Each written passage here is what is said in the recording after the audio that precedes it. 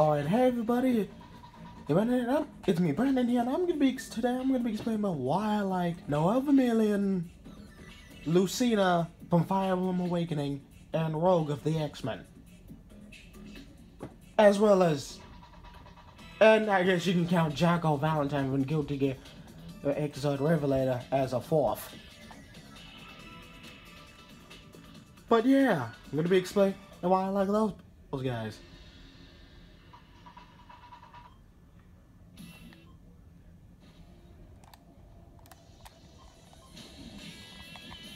Eh, you know what? Select randomly.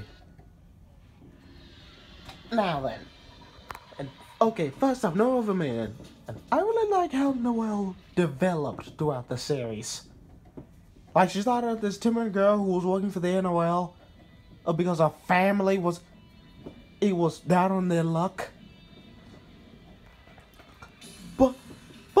Turns out she's actually a prime. He's not even human. She's a prime field device who was actually the clone of, the main character, Ragna the Bloodedge's sister. Well, well, Ragna the Bloodedge and Jin Kisaragi's sister, Saya. But she's also connected to something called the Amaterasu unit. Story short, she's basically the god of the BlazBlue universe. To put it short, and at the end of Central Fiction, she rejoins with her other half. Well, her two other halves. Izanami and Amaterasu. Oh, the girl inside Amaterasu. Oh, I like it.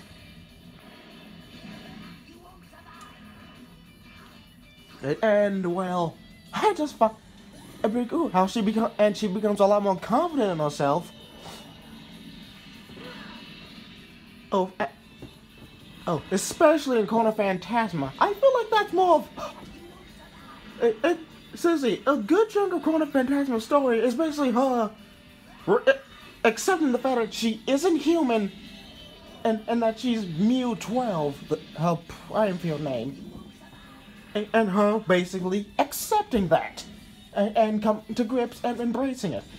She does kind of backpedal in Central Fiction, but that's only because she ends up, uh, she is, she willingly split us he created this world, split herself up, just so Terry wouldn't open the gate. As expected, that backfires horribly, but in typical BlazBlue fashion, that backfires horribly. But after that, she comes to accept that she's. But she does get uh, herself back at near the end. Also accept the fact that she's basically a clone of Ragna's sister. Even starts calling him brother halfway. Even goes as far as start calling him brother. Second is her fighting style. Her Nox Nyctores, basically weapons of the BlazBlue series that run on C on Ars Magus, which was made from Seithr from the Black Beast on the Dark War. It's, it's a long story I don't have time to get into. Long in short, her weapons basically a bunch of gu- it's basically two guns.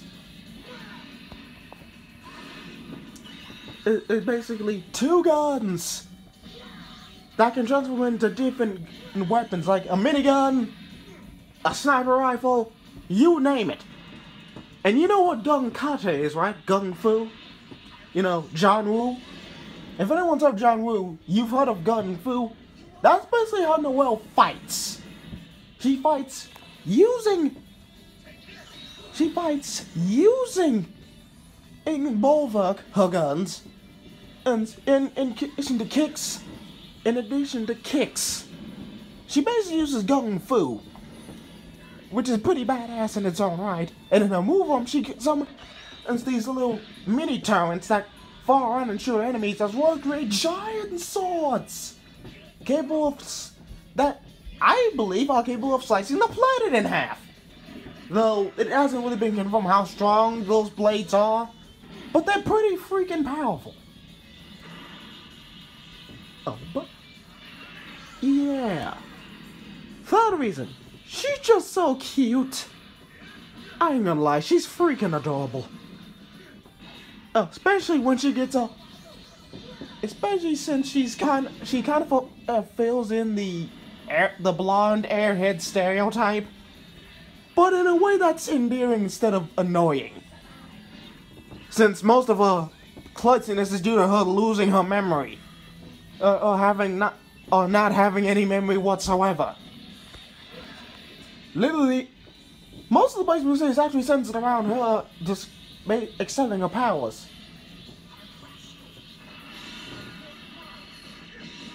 But oh man, Frieza giving Goku the business. Oh, what was I? Oh yeah. Anyway, hey, her stupidity is more of well the fact that she's shy, really, really shy. Not uh, she's not stupid, but she's not the bride. She's not the br. At the beginning of the series, she's not the brightest bulb Oh, if you know what I mean. And, well, yeah. Uh, now, fortunately, as she becomes more confident, this kind of dies down on a little. Uh, this kind of dies, this dies down, and she becomes a lot more confident. She's still at the brightest bulb up on the ceiling, but she's at least a little smaller. Small enough to split herself into two halves so that Terumi doesn't open the gate. To Amaterasu, because that's his plan. And, and she becomes a very powerful member. Which is also why I really want to see a death match between her and Aigis. Because I have the thing she would crush Aigis from Persona from the Persona series. He's in a in one in one on one combat. And since she's able, her powers are, a fourth reason that her powers are yeah, the chart. She has the ability to observe, as in see things that can't usually be seen. And she can basically create her own dimension out of dreams, because it said that the girl inside in the Amaterasu unit is Noel's other half, and she made an entire dream world just because she she wanted Uh, the bad memories to stop. I believe that's why she did it, but still, she created an entire dream world. I know this is Amaterasu, but considering that it was confirmed that it, the girl inside it was technically Noel, I have to say, it, I, I'm gonna count that as a Noel feat. hey, which, and a character development He's also made it very tragic when she first became a Mu, a Mu 12 because. Oh, well, Frieza's near death. Oh, Frieza's near death. But now Boo's got to do is land at least one good hit. Anyway, what was I? Oh yeah, it made it really tragic when Tammy turned into Mu 12 for the first time and made it and made it all the more relieving when Ragna finally saved her. Uh, so, you know, and then for her to basically, and then for her to basically accept what she is, it's pretty endearing. Finally, her voice actor. She's voiced by Cristina Vee. For anyone who knows, she's a singer. And I can, and every, don't know why, but I always v is kind of a good fit for her. I really wish no one sang in the series, especially since Central Fiction has no English dub. Yeah, kind of bummed me out about that. Yeah, that kind of bummed me out, but eh. But eh. That's what happens. It's, eh. Hey, stuff happens sometimes. Alright, I'm just about done with the way here, but I... But I gotta mention one more thing. In... The? Her eyes are usually green, but the when but when she uses her powers and then when she's in her Mu 12 form, her eyes turn blue. I always thought that was a pretty nice touch. Anyway, moving on to Lucina, I was kind of spoiled on her existence before buying Awakening. Yes, I did not buy Awakening until after it had been out for a while. And so I was kind of already spoiled on who she was. Somewhat. Jeez. Oh no, I'm just looking at it's because cool because Frieza took down two two of the fighters and Coolest and only now is Cooler up. Anyway, back to Lucina. Uh, basically, I was kind of spoiled on her existence somewhat. So, yeah. I think. I barely remember it. Because I had barely even heard of this game until I actually got, it. It was only after I bought when I started getting all the information on, on it. She comes back from the future.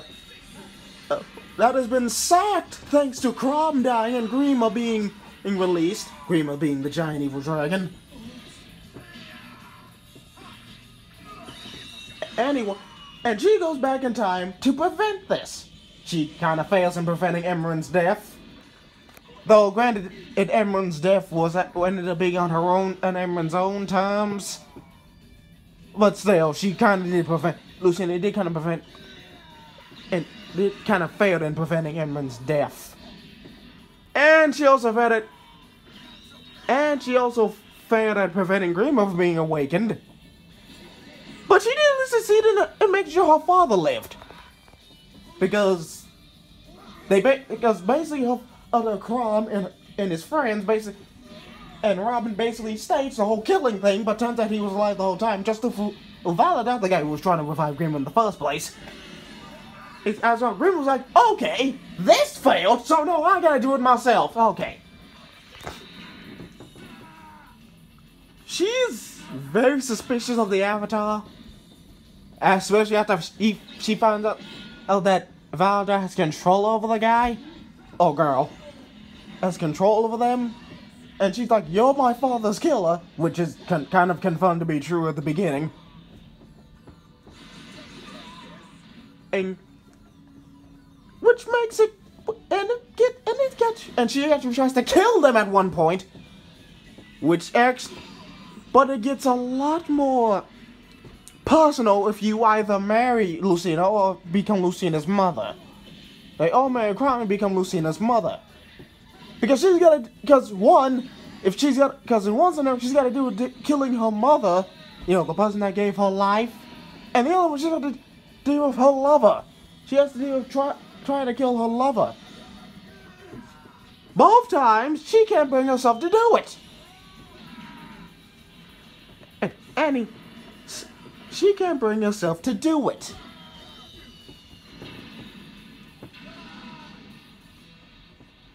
And eventually she does, oh, she is a bit weird since, you know, she, she, since she did grow up in a bad future and everything, so she doesn't really know, how to do anything else but fight. She's kind of like Vegeta in that sense. Doesn't really know how to do anything but fight, but but unlike Vegeta, she at least tries. Least to have some fun and actually succeeds. And it's also kind of unhinted that she couldn't go back to the future since she just left somewhere to go somewhere else after the events of Awakening. Which actually brings me up to Smash Bros. Maybe she was walking around and got an invitation to Smash Bros. and like, hmm, let's see what this is about. Because she is fighting Captain Falcon in the FedEx Arena in her trailer. So, speaking of Smash Bros, I love how they actually to capture her personality. And love that they actually gave her own character slot instead of making her a palette swap of Marth. Speaking of Marth, she's his descendant. And well, and well, she disguised herself as him. And she disguised herself as him, and to bolster her hope, open up, and people. She fights the same as her father, Chrom, We, um, with even wielding the same sword. Which brings me to the second reason I like her, her design.